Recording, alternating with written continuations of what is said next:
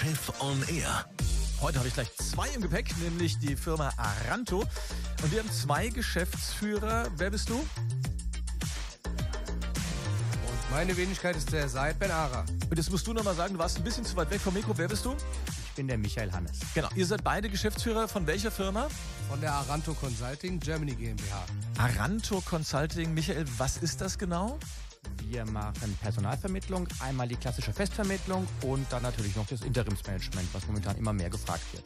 Und was Interimsmanagement momentan bedeutet und wie das alles vonstatten geht und alles mehr zu Aranto, das gibt's gleich. Nach den nächsten beiden Musiken. Ich bin übrigens auch dabei, Raul Helmer hier. Gute. Chef on Air heute mit einer Consulting-Firma, einer jungen Consulting-Firma Aranto. Und die beiden Geschäftsführer sind da seit, du hast dich gerade selber schon vorgestellt. Jetzt müssen wir euch als Firma erstmal vorstellen. Äh, Aranto Consulting, da habt ihr eben schon so gesagt, Interimsmanagement. Äh, beschreibt nochmal ganz kurz, was heißt das alles, was ihr betreibt? Richtig, also Interimsmanagement, sprich, wenn ähm, die Firmen jetzt Bedarf haben, interimistische Lösungen praktisch für, also wir sind nur tätig im IT und im Finance-Segment. Das bedeutet, wenn ein Unternehmen ähm, einen Engpass hat, gerade für zu Spitzen, und die benötigen ein, eine externe Ressource, die die dabei unterstützt, um die Lastspitze abzufangen, dann finden wir den richtigen Kandidaten, um praktisch diesen Engpass zu lösen. Äh, Ist es das, was man so gemeinhin auch als Headhunter bezeichnet? Passt das heute? noch? Das passt heute noch, ja. Headhunter hört sich auch schon ein bisschen ja, kriminell an, sagen wir mal so. Ist es aber nicht. Das ist ja ein Ähm, umgangssprachlicher Begriff. Ja, aktuell ist es im Recruiting-Bereich. Mhm. Ähm, klassisch der Recruiter. Äh, ja, das ist aktuell der. Das heißt, ihr, ihr kämpft gegen den Fachkräftemangel und helft auch dabei. Wie, wie schwer ist es, gute Leute zu finden für dich, für euch? Ähm, es ist relativ, also wir arbeiten mit unserem Netzwerk zusammen, sprich über, ja, über Jahre hat man sich halt sein eigenes Netzwerk aufgebaut. Dementsprechend haben wir das Problem, gute Leute nicht allzu schwer zu finden. Es ist eine Herausforderung, je nach Vakanz ist es speziell, diese Vakanz zu finden, diese, diesen bestimmten Kandidaten. Ähm, bis jetzt, toi toi toi, hat es immer geklappt. Ähm, ja. Also, äh, das heißt, also eure Abschlussquote ist demnach, wenn du sagst, bisher hat es immer geklappt, offensichtlich ganz gut. Ja, von der Abschlussquote her, ja, können wir uns nicht beklagen. Also die ist sehr gut. Klar, mal passt der Kandidat nicht, dann ja, geht er halt vor der Probezeit, aber dementsprechend besetzen wir dann auch gerne nach. Das ist alles eine Absprache mit unseren Partnern. Also ich sag zu den Kunden, wir sind auf Augenhöhe, das sind unsere Partner, wir sind Dienstleister, aber auf Augenhöhe. Michael Hannes, der zweite Geschäftsführer. Ähm, was macht ihr noch außer Interimsmanagement bei Aranto? Ja, wir machen im Endeffekt die klassische Festvermittlung. Ähm, heißt, wie der Seid schon gesagt hat, wir gehen auf große Firmen zu, Firmen kommen auf uns zu. Manchmal kommen auch die Mitarbeiter schon auf uns zu, die wir schon mal vermittelt haben oder die von uns gehört haben. Und ähm, dann nehmen wir im Endeffekt entweder den Job auf oder den Mitarbeiter auf und dann wird er vermittelt. Okay. Also die ganz klassische Festvermittlung, wie man den Headhunter so früher beschrieben hat. Genau. Jetzt habt ihr gerade eben schon äh, bei der Vorstellung gesagt, äh, die Bereich, weil ich glaube, man kann das nicht in allen Bereichen gleichzeitig abdecken, oder? Nein, also wir im Endeffekt sind im Bereich IT und im Bereich Finance, wo sich aber auch bei uns im Bereich Finance immer mehr so ähm, es entwickelt hat, dass wir so in den Executive Search gehen. Also das Was ist heißt das? Ab einer gewissen Gehaltsstufe. Ja, also die Firmen heute sind natürlich auch auf ihr Budget ein bisschen gedrängt und wir wollen ja auch irgendwo gezahlt werden. Wir leben nicht ganz von Luft und Liebe. Und viele große Firmen sagen dann, okay, in dem Bereich Fachkräfte, im, im Bereich mittlere Management finden wir die Leute selber im, im, im Finance-Bereich, aber ab einer Bereichsleiterebene, ab einer unteren Vorstandsebene und aufwärts, da wollen wir den Profi sehen. Okay. Und ähm, wie, kriegt man das hin? Also ich meine, ähm, die suchen ja auch, die sind ja auch keine Dummen in der Personalabteilung. Wo ist der Vorteil von euch? Was könnt ihr anders oder besser? Also wir sehen gerade, gerade bei den Firmen und auch bei den modernen Firmen im Tech-Bereich, auch da ist eine Verschiebung drin, sind viele Personalabteilungen heute nicht mehr die Personalabteilung, die sie früher mehr waren. Also früher war man wirklich so, da hat man eine Stelle aufgegeben, dann wurde der Mitarbeiter gesucht und eingestellt. So die klassische Anzeige in der Frankfurter Rundschau, Genau, in der richtig, FAZ, was richtig. man früher so hatte. Hm? Das ist heute nicht mehr der Fall. Viele große Firmen sagen, wir wollen die Mitarbeiter halten. Uns ist es wichtig, dass die Mitarbeiter bei uns bleiben und deswegen werden wir unsere Personalabteilungen so führen und so ansetzen, dass diese die Mitarbeiter betreuen, Wellness für die Mitarbeiter ähm, betreiben, dass die Mitarbeiter sich weiterbilden können, aber äh, von dieser Riesenlast, Personal zu suchen, ob es auch passt, ob es nicht passt, will man die Leute ein bisschen in den internen Abteilungen zurückgeben. Und deswegen geht man auf den Ex auf den externen hinaus. Und das sind wir dann. Mhm. Und wir haben da unser Netzwerk, ähm, wir haben unsere Partner, mit denen wir zusammenarbeiten. Genau. Und ihr seid im Prinzip zwar Frankfurt-based, aber nicht nur. Erzähl mal ein bisschen was zu euch. Wo kommt ihr her? Also die Firma und ihr selber? Also wir sind, wir sind ja beides gebürtige Frankfurter, das kann man so sagen. Mhm. Ähm, ich lebe auch mit meiner Familie noch hier. Ich mhm. habe drei Kinder. Wir leben in Bad Soden am Taunus.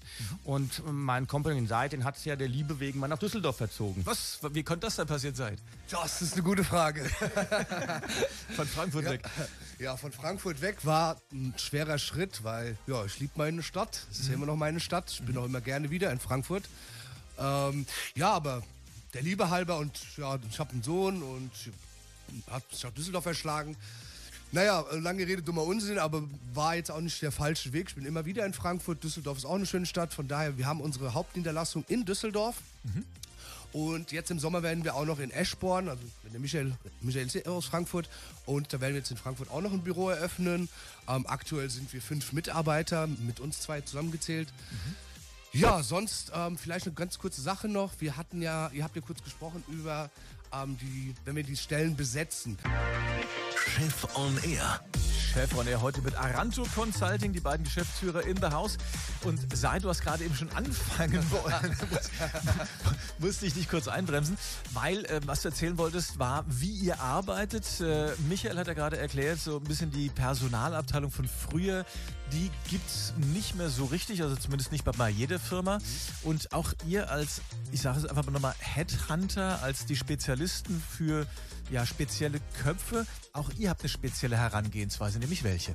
Richtig, also wir arbeiten generell, also früher war es ja klassisch, man hat eine Stelle geschaltet, haben sich Herrschaften darauf gemeldet, die haben sich beworben. Mhm. Ähm, bei uns, wenn wir die Stelle von unserem Kunden bekommen, arbeiten wir generell erstmal mit unseren Listen, die wir schon mit unserem eigenen Netzwerk, wo wir wissen, dass dieser Kandidat ähm, offen wäre für Gespräche, mhm. sprich offen. Äh, alle unsere Kandidaten sind in Lohn und Brot, mhm. heißt, sie sind Angestellte, mhm. würden aber unter anderen ähm, Aspekten wechseln. Ist das, ist das immer nur Geld heutzutage? Nein, Geld ist eigentlich bei den meisten sekundär.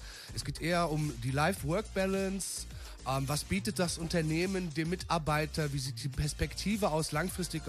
Sagen wir, in den nächsten fünf Jahren gibt es da Aufstiegsmöglichkeiten. Mhm. Das sind eigentlich so die Keyfacts, die den, ja, die Kandidaten am meisten liegen. Klar, das Monetäre kommt am Ende dann auch noch mit, spielt eine Rolle, aber Klar das ist am Ende eigentlich. Das heißt also, ähm, Geld in, in der Hierarchie jetzt bei euren Stellen, äh, wir haben von Michael gerade gehört, ihr seid eher im gehobenen Segment tätig, da ist dann Geld nicht mehr alles. Was macht so ein Arbeitgeber sexy, außer noch weiterer Aufstieg, also eventuell die nächste Führungsposition ergattern oder ähnliches? Was, was ist heute nice to have? Ähm, also das Hybridmodell hat sich bis jetzt auch immer klassisch ähm, ganz gut verkauft. Mhm. Ähm, seit Corona haben wir ja gemerkt, ähm, Remote-Arbeiten ist doch möglich. Man muss nicht immer im Büro sein. Ähm, sprich, das wird auch beibehalten. Ähm, viele unserer Kandidaten bzw.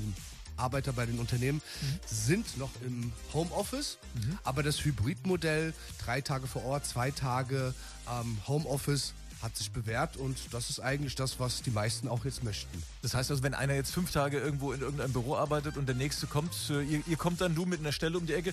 Pass auf, äh, Kollege, ich habe hier was, da kannst du auch zwei Tage remote arbeiten. Sowas kann einen Unterschied ausmachen? Doch, definitiv, ja, ja. Okay.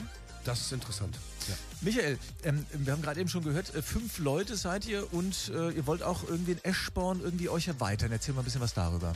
Genau, also wir sind ja im Endeffekt jetzt im dritten Jahr, ähm, haben in Düsseldorf mit Seid zusammen noch äh, zwei bzw. drei Recruiter sitzen. Eine mhm. ist davon noch im Junior-Level, zwei sind erfahren. Seid würde ich auch als erfahren mal hinstellen. Da reden wir gleich noch drüber. Spaß, Spaß beiseite. Ja, nee, wir wollen im Endeffekt versuchen zu expandieren. Wir mhm. merken einfach, die Nachfrage, die wir momentan haben, die ist einfach da. Mhm. Wir haben zwei Partnerunternehmen, mit denen wir noch zusammenarbeiten. Da können wir jetzt noch nicht ganz so viel zu sagen, aber da wird sich noch ein bisschen mehr tun. Wir sind beruflich nächste Woche auch in Berlin diesbezüglich. Mhm. Und deswegen ist ähm, die logische Konsequenz einfach ein weiteres Büro noch eröffnen. Mhm. Da ist Eschborn so ein bisschen momentan äh, im Gespräch. Äh, einfach die Nähe zu Frankfurt, aber es ist trotzdem auch praktischer ähm, für mich zu erreichen. Man ist schneller da und man muss auch immer so ein bisschen die Kosten im Hintergrund halten. Da ist es, ist es auch ein bisschen interessant. Und die Werbesteuer in Eschborn ist auch ein bisschen weniger wie die in Frankfurt. Ich habe das gehört. Ich habe auch schon den Bürgermeister hier mal auch bei Chef von R zu Gast gehabt. Ah, okay. Der hat davon auch erzählt. Ja. Insofern, dass die Stammhörer wissen das. Ähm, macht ihr dann auch, wenn ihr euch ähm, erweitern wollt, so als Ausbildungsbetrieb ähm, sozusagen auch da eine kleine Erweiterung oder wie sieht es damit aus? Ja, also es ist auf jeden Fall geplant. Ähm, mhm. ich habe meinen Ausbildereignungsschein seit überrede ich die ganze Zeit, dass er ihn machen soll. Aber er wird ihn auch machen. Ansonsten muss ich ihn zu IHK nach Düsseldorf hinprügeln. Aber das kriegen wir hin. Ja, es ist geplant. Wir wollen ein bisschen auch Nachhaltigkeit geben. Wir wollen ein bisschen auch ähm, in die Zukunft investieren und da sind Azubis eigentlich der richtige Weg. Also insofern, da ist auch auf Erweiterung. Wenn man jetzt bei euch mitmachen wollte, man sagt, das sind zwei coole Kerle, die da äh, eigentlich einen ganz guten Job machen, hört sich zumindest so an, kann man auch bei euch selbst, also nicht in der Ausbildung, sondern mit euch mitarbeiten? Na klar, logisch. Also mhm. das, die Möglichkeit ist gegeben. Was muss man mitbringen? Ja, man sollte im Endeffekt ähm, im Vertrieb sollte man schon ganz gut aufgestellt sein, man sollte ein paar Kontakte haben und man darf alles nur nicht schüchtern sein. Chef on Air. Chef on Air heute mit Aranto Consulting. Die beiden Geschäftsführer sind da. Michael war gerade eben dran Zeit. Ähm, reden wir mal über euch beide. Also ihr habt ja eine gewisse Expertise, ein bisschen Erfahrung, ein bisschen in Anführungszeichen. Wie wird man Headhunter? Wie bist du es geworden? Erzähl mal ein bisschen was von dir. Also, ähm, ich bin Quereinsteiger, sagen wir es mal so, um auszuholen. Ähm, hast eine Ausbildung gemacht zum Bürokaufmann. Ähm, dann habe ich lange Zeit im Sales-Bereich gearbeitet, im Promotion-Segment. Dann war ich im Immobilienbereich tätig. Mhm. Das ging über vier, fünf Jahre. Und dann wurde ich abgeworben dann wurde ich abgeworben, klassisch. Also auch von einem Headhunter zu einem Headhunter, ähm, um im Sales-Bereich mitzuwirken. Das klang für mich ganz spannend, interessant. Mhm. In der Vergangenheit hatte ich natürlich keine Berührungspunkte, keine Schnittstellen zu, zum Recruiting-Bereich und geschweige denn von IT. Mhm. Ähm, ja, und mit den Jahren hat man das, das so angeeignet und ja, das ist so der Weg, wo ich herkomme. Mittlerweile seit, 10, ja, seit 12, 13 Jahren Berufserfahrung in dem Bereich ja, würde schon sagen, da hat man sich ein paar Skills angeeignet. Das heißt also, du bist selbst Quereinsteiger. Ist das auch so? Wir haben ja gerade auch schon gesprochen darüber, ähm, Michael gefragt, äh, kann man bei euch mitarbeiten? Ja. Also auch ein Quereinsteiger wäre bei euch kein No-Go? Nein, definitiv nicht. Also Quereinsteiger sind auch herzlich willkommen, mhm. ähm, weil die noch nicht so verbrannt sind von der Branche, sagen wir es mal so. Dementsprechend ähm, kann man denen das noch anders erklären, so wie es mir beigebracht wurde. Mhm. Und ja. Michael hat gerade gesagt, also nicht auf den Mund gefallen sein. Klar, was, was mhm. muss man noch mitbringen, wenn man jetzt sagt, okay, Aranto Consulting, coole Chefs, scheint eine coole Firma zu sein, gucke ich mir mal an? Ja, definitiv. Also nicht auf den Mund gefallen, ja. Eine äh, nette Stimme, Telefonstimme wäre nicht verkehrt. Mhm. Ähm, weil natürlich merkt ja auch derjenige, mit dem man spricht, ähm, wie ist die Laune von dem Gegenüber. Also es geht klassisch auch noch viel übers Telefon tatsächlich. Ja, ja, klassisch viel übers Telefon, über mhm. Teams natürlich auch, aber das meiste läuft übers Telefon ab. Von daher sollte man sich auch ausdrücken können. Mhm. Ähm, und den Rest bringen wir den Herrschaften bei. Das ist alles kein Problem. Okay. Äh, Michael, äh, Alter von bis, ist das jetzt eher was für, für die Jungen oder, oder Junggebliebenen? Oder also wer wäre geeignet, um bei euch mitzumachen? Also das kann man gar nicht pauschalisieren. Ich glaube, das würde eine gewisse Lebenserfahrung sollte man, glaube ich, haben, weil, wie Seid schon gesagt hat, man ist viel am Telefon tätig. Mhm. Und so ganz cool hinter den Ohren sollte man nicht sein. Also ich würde mal sagen, so ab 25. Aber wir haben auch Mitarbeiter, die äh, über, auf die 50 jetzt zugehen. Also das ist gar kein Thema. Mhm. Und ähm, wir haben ein Partnerunternehmen, mit dem wir viel zusammenarbeiten. Die sitzen in Berlin. Da ist einer dabei, der ist Mitte 60 und macht das immer noch gerne und der geht auch nicht in Rente. Ja. also deswegen, das ist vom Alter her ist keine Grenze gesetzt. Früher, ähm, als ich, ich habe auch mal eine Bankausbildung gemacht, da waren auch damals noch Headhunter mit im Gespräch häufig. Da war das so ein Job, wo man irgendwie gefühlt äh, immer am Job ist, also quasi rund um die Uhr arbeitet, also viel arbeitet auch. Ist das bei euch immer noch so? Ja, das ist immer noch so. Also ähm, klar, man, man ähm, in meinem Bereich, ich bin ja mehr dafür da, die Kunden zu akquirieren, seid und sein Team ist dann dafür da, den Job zu besetzen. Aber na klar, also das Telefon steht nie still. Ja, das ist wirklich diese ja, 24-7-Mentalität. Es ist der klassische Dienstleistungsberuf. Ist einfach so. Man kann viel von zu Hause machen. Ähm, ja, wir haben auch schon, wir haben auch schon im ICE oder auch schon im Auto jo äh, Jobs geplaced. Also das ist gar kein Thema. Aber die Bereitschaft muss einfach immer permanent da sein. Das Also dieses, so. dieses klassische 9 to 5, was man jetzt also bei diesen Streiks ja auch bei den gut Lokführer, der muss natürlich im Führerstand stehen und dann wieder irgendwann Pause machen, klar, aber 9 to 5 im weitesten Sinne geht bei euch quasi eigentlich nicht. Nein, in dem Fall nicht. Klar, ähm, wir erreichen die meisten unserer Ansprechpartner in den Firmen in der Regel in den Bereichen. Aber nicht 9 to 5, das ist meistens so 8 to 6, ja. Aber ähm, gerade auf der anderen Seite, um die Leute auch zu überzeugen und die Leute, wir müssen ja mit den Leuten telefonieren, wenn die nicht auf der Arbeit sind. Also wenn jemand einen neuen Job möchte, dann geht er ja nicht auf der Arbeit ans Telefon und sagt, oh, vermittel mir mal was. Ähm, den müssen wir ja abends dann Wie, wie erreichen. viel 10.000 mehr bietet ihr mir nochmal? Genau. Die ist, die ist jetzt nicht wie an der Börse. Nein, das nicht.